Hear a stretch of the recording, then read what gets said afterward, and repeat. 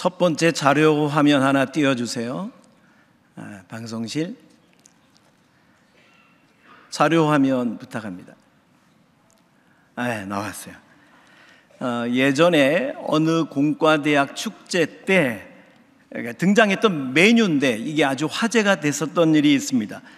어, 기사 제목은 나 그냥 제육볶음 먹을래였습니다. 나 그냥 제육볶음 먹을래.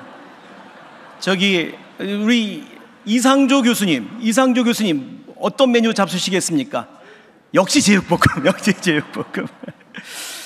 아, 근데요, 굉장히 메뉴판이 막 어려워 보이지만 사실 알고 보면, 아는 사람이 보면 아주 간단합니다. 모든 메뉴가 다 4,000원입니다. 다 4,000원. 어, 자연계에는 많은 힘들이 작용을 합니다. 그죠? 행성이 태양을 도는 어, 힘도 있고요. 밀물과 썰물을 어, 바다에서 일으키는 힘도 있습니다. 어, 사과가 나무에서 떨어지게 하는 힘, 유성이 떨어지게 하는 힘. 근데 이 모든 힘이 동일한 힘이라는 것을 밝혀낸 사람이 아이작 뉴턴입니다. 그게 다 중력 현상, 소위 만류 인력 현상인데 그 공식이 의외로 간단합니다. 다음 자료 화면 보여주세요. 네. 네. 네. 네. 여러분, 이, 이, 이 수식에 의해서 지구가 태양을 돌고 달이 지구를 돌고 그리고 밀물과 썰물이 일어나고 사과가 나무에서 떨어집니다. 아이작 뉴턴이 교수형 처형 장면을 즐겨봤다 그래요.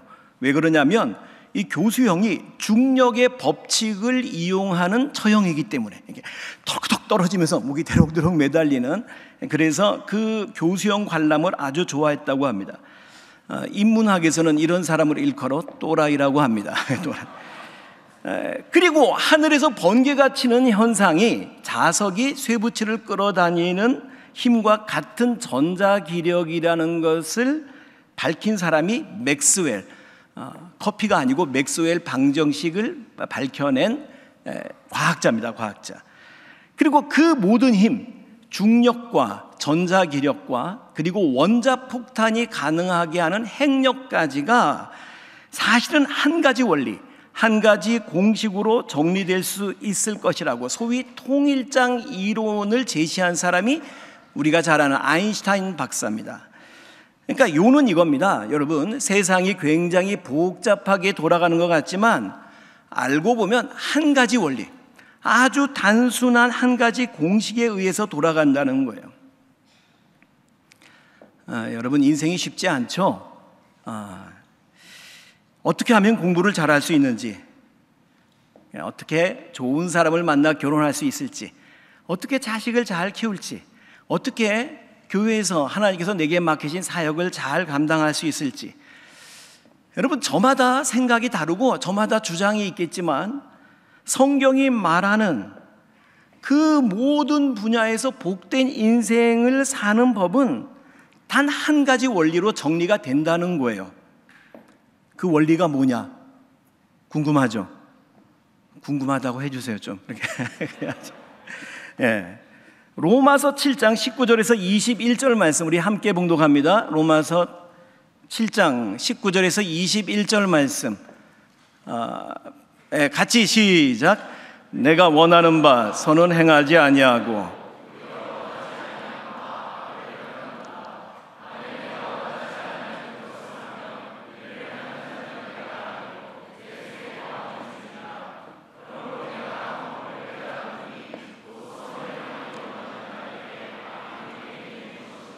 네, 사도 바울이 한 가지 사실을 깨달았다는 겁니다. 내 안에 또 다른 내가 있다는 거예요.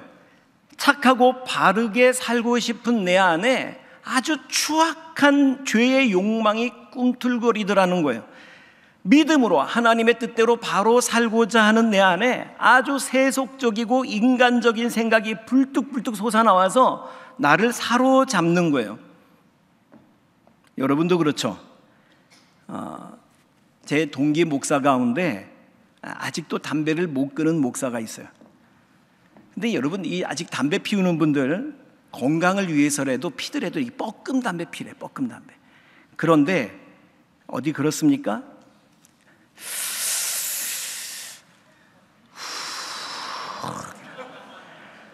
딱딱 하다가는 이 연기가 방구로 나올 것 같은 기세야, 이렇게.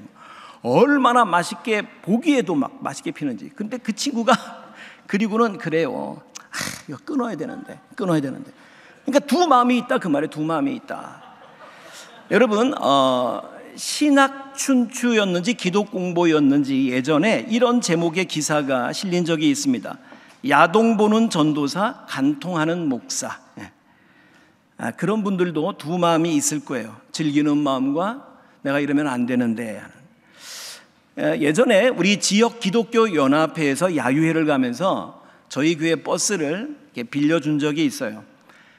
운행을 마치고 돌아온 관리 기사 집사님이 그러시는 거예요. 하, 목사님, 아, 목사님들이 왜 그러세요? 왜요? 그랬 하는 얘기들이 전부 막 차 자랑하고 예? 해외 여행 갔다 온 거 자랑하고 자녀 유학 보낸 거 자랑하고 예. 우리 옆에 있는 분한테 한번 물어보세요. 당신도 그럴 거요? 시작. 한번 물어봐요. 당신. 예. 아마 그 가운데 우리 교단 목사는 아마 없었을 거예요. 아마도 아마 그렇게 믿고 싶어요. 사도 바울은 그 두 마음 가운데 하나님의 뜻을 선택하고 믿음으로 사는 사람을 아, 배우셨죠? 퓨누마티코스. 그러니까 영에 속한 사람이라고 그래요. 따라합시다. 영에 속한 사람. 반면에 하나님의 뜻을 저버리고 육신의 정욕을 따라 세상의 방식으로 사는 사람을 사르키노스, 육신에 속한 자들 그렇게 말합니다. 따라합시다. 육신에 속한 자들. 아, 여러분은 어느 쪽입니까? 이게 심각한 것은 로마서 8장 12절 13절 말씀 오늘 본문이죠. 우리 같이 봉독합니다. 시작.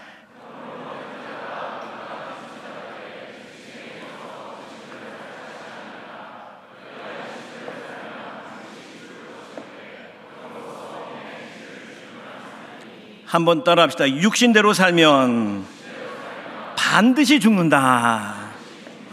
어, 우리 존경하는 선배님 가운데 김준홍 목사님 여러분 아마 대개 다 들어보셨겠습니다만 어, 옛날 그 청계천 넉마주의들을 대상으로 복음을 전하면서 활빈 교회를 개척하셨을 때에 그분 고백이 육신대로 살았다는 거예요.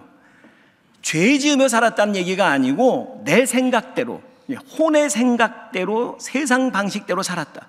목사가 기도는 안 하고 소득 증대에만 아주 열을 올리면서 예, 예, 분주하게 수요 예배 같은 때는 교인들 보고 자습하라고 그랬죠. 자습하라고. 예. 그 결과는 쫄딱 망해가지고 빚더미에 앉게 됐다는 거예요. 어, 예배 시간에 빚쟁이들이 몰려와가지고 맨 앞에 앉아가지고 다리 딱 꼬고 그랬다는 거예요. 김 목사 말은 잘하네만 내 돈 언제 갚을 거요? 막 그러니까 이게 예배가 안 되는 거예요. 더 이상 어찌할 수 없는 지경에 몰려서야 이분이 무기한 금식 기도에 들어갔대요. 근데 금식 기도를 하는데 서울에서 어느 집사라고 하는 여자가 찾아와서는 쪽지를 하나 던져주고 가더래요. 예, 쪽지를 펴보니까 목사님 로마서 8장 12절 13절을 보세요. 오늘 본문이에요.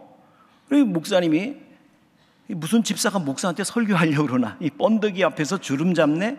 그러면서 딱 펴보니까 말씀이 오늘 말씀이에요 우리가 빚진 자로 돼 육신에게 져서 육신대로 살 것이 아니니라. 너희가 육신대로 살면 반드시 죽을 것이로 돼. 영으로서 몸의 행실을 죽이면 살리니. 근데 그 말씀이 하나님의 음성으로 정말 꽂혔다는 거야 꽂혀. 그래 말씀대로 살자. 내가 지금 빚진 자로 죽게 생겼는데 말씀대로 살면 하나님이 살 길 열어 주실 것이고 혹시 굶어 죽어도 천국 갈 테니까 음, 하는 마음으로 말씀대로 살기로 결단하고 오직 기도와 말씀에 전무하다 보니까 모든 문제가 봄눈 녹듯이 해결이 되고 여러분 다 아시죠? 김준호 목사님. 아, 그 분의 책, 예, 아, 내가 새벽을 깨우리로다. 예, 그 책은 베스트셀러가 되고 그분의 영화 일대기가 영화로 만들어졌어요. 영화로, 영화로. 아, 여러분은 근데 어떻게 살고 계십니까? 아, 육에 속한 사람으로 사세요? 영, 예, 영에 속한 사람으로 사세요? 우리 주님께서 말씀하십니다. 너 육신대로 살면 반드시 죽는다. 그런데 영으로서 몸의 행실을 죽이면 살 길이 열린다. 여러분, 여러분 아마 교회 현장에서 다 피부로 느끼시겠지만 요즘 한국 교회 굉장히 어렵습니다. 예. 한 번은 어떤 청년이 어, 새로 등록을 했어요. 그리고 면담을 하는데 그 청년이 어, 세상에 청년이 하는 말인데 기절할 뻔했네, 기절할 뻔. 청년이 그러더라고요. 아, 그럼 목사님은 진짜 하나님 믿으세요? 이러는 거예요. 아, 목사 보고 하나님 진짜 믿으세요? 이렇게 묻는. 어. 여러분, 요즘 세상 사람들이 볼 때는 목사가 하나님 안 믿는다고 생각을 하는 거예요. 하나님 안 믿는다. 아, 그래도 저는 어떻게 막차는 탄 것 같은데 아, 정말 제가 이 학부 87학번으로 입학해서 신대원 87기로 졸업했습니다만 후배 여러분을 보면 심히 좀 불쌍하고 예, 죄송하고 안 됐고 예. 제 입으로는 차마 말을 못하겠고 우리 옆에 있는 하고 손을 꽉 잡아주면서 한번 저 대신 이렇게 말해주세요. 삼가 명복을 빈다. 시작. 빨리.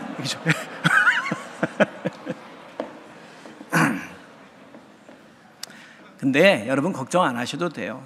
육신대로 사는 목사라고 불리우는 이들 때문에 그렇게 된 거예요.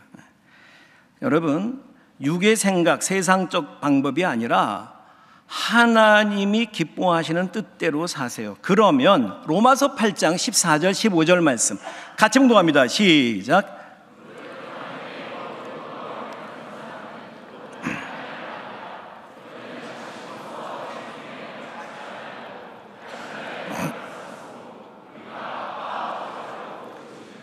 무슨 얘기냐면 하나님의 영으로 인도하심을 받으면 하나님의 자녀의 권세를 누리게 된다는 겁니다. 네. 하나님의 자녀가 돼 보세요. 여러분 하나님이 책임져 주십니다. 네. 놀라운 일이 생깁니다. 제가 정말 1박 2일간 시간이 주어져도 수많은 간증들을 할 수 있을 거예요. 그 가운데 한 가지만 얘기를 드릴게요. 제가 23년 전에 남양주시 평내동에 교회를 개척을 했습니다. 어, 처음에 개척 멤버도 없고 예배 장소도 준비가 안 돼서 레스토랑 빌려가지고 예배를 드리면서 한 명 한 명 전도를 해가지고 예, 상가 4층에 예배당을 마련을 하고 아, 그리고 개척된 한 지 4년 만에 한 80명 정도가 모였어요. 그때에 막 불도저, 막 포크레인이 이렇게 그 일대 평내 호평동 그 일대가 여러분 아시는지 모르겠는데 전부 다 파밭이었습니다. 거기를 다 미는 거예요. 미니 신도시, 2만 세대 미니 신도시가 들어온다는 거예요. 근데 내 생각에 상가 4층에 있어가지고는 2만 세대가 들어온다고 해도 아무 상관이 없을 것 같아. 아물 것 같아. 성전을 건축하고 싶은데 문제는 돈이 없잖아요, 돈이. 어, 여러분, 우리 교회가 그때만 해도 연말이 되면요, 남는 재정을 다음 해로 이 월하지 않고 전액 불우이웃돕기로 다 썼어요. 교인들에게 돈을 나눠준 적도 있어. 너 가지라는 건 아니고 어려운 사람 도와주는 경험을 하고 와서 서로 그 경험을 나누자. 그런 뜻에서 돈을 나눠준 적도 있어요. 어쨌거나 새해는 늘 제로 베이스에서 시작하는 거예요. 그러니 돈이 없으니 그야 주여 어떡합니까? 기도만 할 뿐이었는데 어, 2004년 12월 31일 여러분 송구 영신 예배 때 약속의 말씀 카드 뽑기 이런 거 해보셨어요? 어, 저는 그 전에 그거 안 해봤어요. 좀 미신 같잖아. 뭐 말씀을 뽑는다. 뭐 이런 게 좀 미신 같아가지고 그거 안 했었어요. 그런데 제가 21세기 목회 연구소라는 데를 다녔는데 그 김두현 소장이 목사님 그거 신기하게 맞습니다. 그거 한번 꼭 한번 해보세요. 그러는 거야. 그래가지고 그 해에 처음 약속의 말씀 카드 뽑기를 이렇게 했는데 말씀을 뽑았는데 너무 좋은 말씀을 뽑은 거예요. 한번 보여주세요. 에스겔 20장 6절 말씀 같이 시작.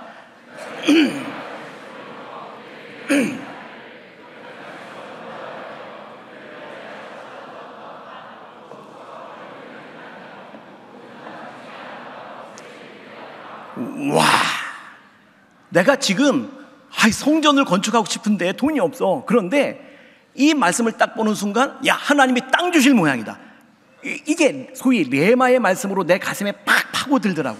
그래서 아멘. 그리고 다음 다음 날 1월 2일 날 우리 예배당이 4층에 있었고 1층에 부동산 사무소가 있었어요. 거기 가가지고 제가 그 사장님한테 예배당 질 만한 좋은 땅이 있으면 좀 소개 좀 해주세요. 이렇게 부탁을 했어.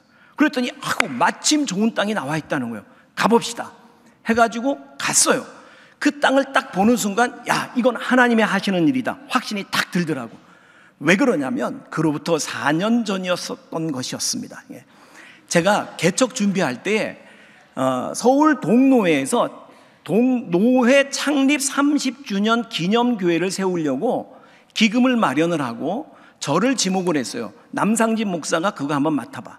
개척전도위원회에서 그리고 땅을 알아보라고 그랬어요. 그래서 제가 땅, 그 땅에 와가지고 이 땅을 달라고 우리 집사람하고 무릎 꿇고 그 땅에서 기도했었어요.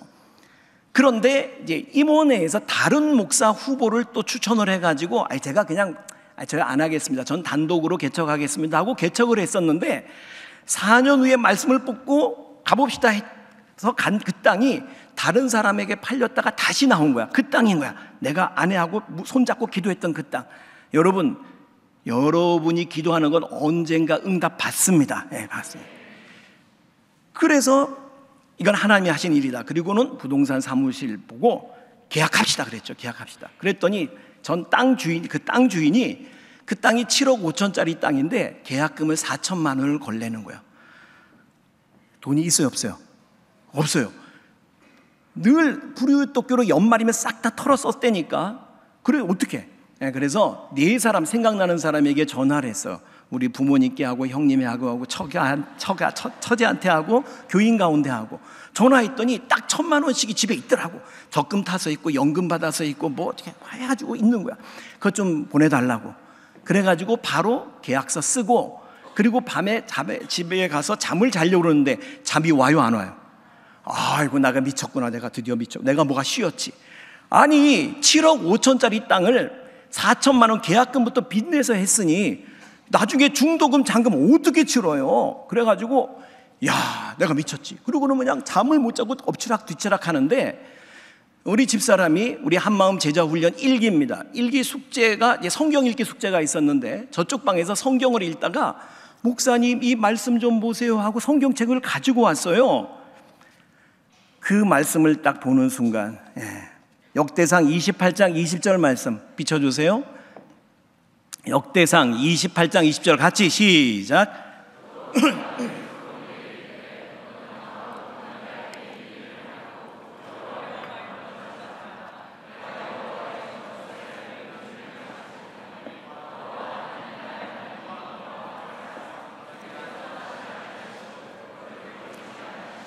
아멘. 내가 지금 성전 건축의 일로 참막 두려워하고 있는데 너 두려워하지 말며 놀라지 마. 나의 하나님 곧 너희 하나님이 너와 함께 하사 네가 성전 역사의 모든 역사를 마칠 때까지 너를 버리지 않고 떠나지 아니할 거야. 이 말씀을 딱 보는 순간 눈물이 핑 눈물이 주르륵. 아 하나님이 하시는구나. 그리고는 입을 뒤집어 쓰고 잤어요. 잤어요. 그 다음에 예배당 건축이 그냥 일사천리로 진행이 됐어요. 어떻게 됐는지 말해줘요, 말아요. 말해 달라고 해서 주는 거예요. 세상에 여러분 계약한 그 다음 다음 날 땅 문서가 배달돼 왔어요. 땅 문서가 7억 5천짜리 땅에 4천만 원 계약금 치렀는데 땅 문서가 등기부 등본이 이렇게 배달돼 온 거예요. 아, 이게 무슨 일이야? 놀래서 내가 우리 교회에 그 떴다방이라고 여러분 아세요? 부동산 위가 떴다방이요. 그 떴다방 하는 분한테 아 이게 무슨 일인지 검토 좀 해달라고. 내가 혹시 내가 또 무슨 불이익 당할까봐. 예? 그랬더니 그분이 이렇게 쫙 서류를 검토하더니 그러는 거예요. 목사님, 우리 같으면 이거 그냥 먹어버립니다. 그러더라고. 이게 어찌된 영문이냐면 그쪽에 이제 그 논밭이었는데 신도시가 조성이 되면서 당국에서 이곳을 투기 지역으로 지역으로 고시한 거예요. 그 투기 지역이 되면 어떻게 되는 거냐면 그 전에는 공시지가로 세금을 매기다가 투기 지역이 되면 실거래가로 세금을 먹이게 됩니다. 아, 이 부동산을 좀 알아 얘기가 되는데 이게 여러분 하여튼 그러면 어마어마한 세금 거의 모든 수, 그러니까 소, 땅값 오른 부분을 다 세금으로 아, 내게 돼요. 그러니까 땅 주인이 세금 덜 내려고 서류를 조작한 거야. 어, 계약하기 한 달 전에 계약한 거로 서류 꾸미고 나하고 아무 상의도 없었어요. 어, 부동산 사무실하고 법무사하고 다 어, 합작해가지고 보름 전에 중도금 치른 거로 하고 그리고 계약한 날 잔금 다 치른 거로 하고 등기부 등본을 넘긴 거야, 넘긴 거야. 그러니까 그거 찾아가려고 그러면 그 법무사, 부동산 사무실 그 사람 전부 다 줄줄이 세고랑 차고서야 그걸 찾아갈 수 있어, 사실은. 그래도 여러분 제가 그 돈 다 냈습니다. 대기는 다. 나중에 다 주긴 줬지만 여러분 잘 생각해 보세요. 자, 땅 문서가 넘어왔어요. 그러면 뭐가 해결돼? 아, 중도금 문제가 해결돼. 왜냐하면 대출 받아서 하면 되거든. 아, 뭐, 뭘 알아야지 뭐 얘기가 되는데. 그래. 하여튼 그래가 중대금 문제가 해결이 됐어요. 중대금 문제가 중도금. 이제 문제는 잔금하고 건축하는 문제가 남았는데 어떻게 할까 하다가 제가 전도사 시절에 있었던 잠실교회라고 그 원강기 목사님을 찾아갔어요. 우리 권사님들 보고 기도 세게 하시라고 그러고 찾아갔어요. 아, 그래가지고 사실은 돈 빌리러 간 거였어요. 근데 돈 빌려달라는 말이 참 안 나오더라고. 어, 그래 제가 그분한테 이제 이 땅 문서를 보여드려서 땅 문서. 목사님 여기에 2만 세대가 들어오는 요 가운데에 땅을 제가 마련했습니다. 개척 4년 만에 땅을 마련했다고. 여러분은 아직 잘 모르죠. 그게 얼마나 어려운 일인지. 그 목사님이 그러더라고. 내가 지금 가슴이 뜨거워진다는 거야. 어떻게 도와줄까? 그러더라고. 어떻게 도와줄까? 또 돈 빌려달라는 말이 나오는 걸꼭 참고 아, 사실 땅만 사서 되는 게 아니죠. 건축을 해야 되니까 좋은 건축업자 있으면 좀 소개 좀 해주세요. 그렇게 말씀을 드렸어요. 그랬더니 어 그래 그러더니 이분이 사무장한테 저 김재만 회장 요즘 어디서 뭐 하는가? 아 요 앞에서 지금 아파트 짓고 있습니다.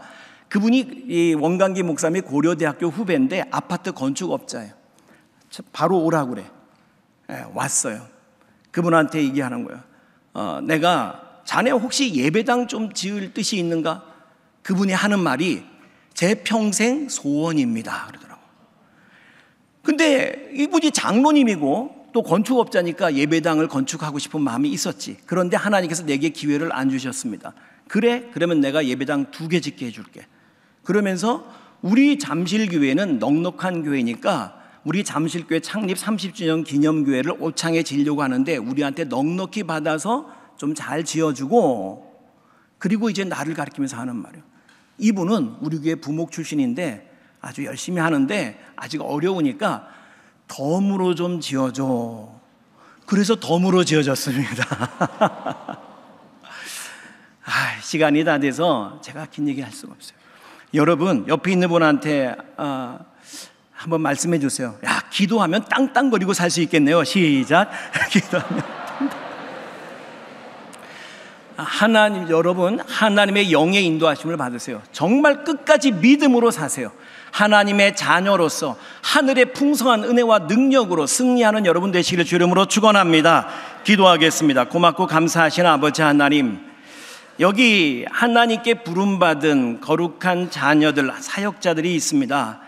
주여 주님 영으로 육신의 소욕을 버리고 그리고 영의 인도하심을 따라 하나님의 뜻대로 믿음으로 살아서 하나님의 자녀로서 하늘의 그 은혜와 능력을 넘치도록 누리며 하나님께 영광 돌려드리는 하나님 나라의 하나님의 종 다 되게 하여 주옵소서 예수님 이름으로 기도드리옵나이다. 아멘.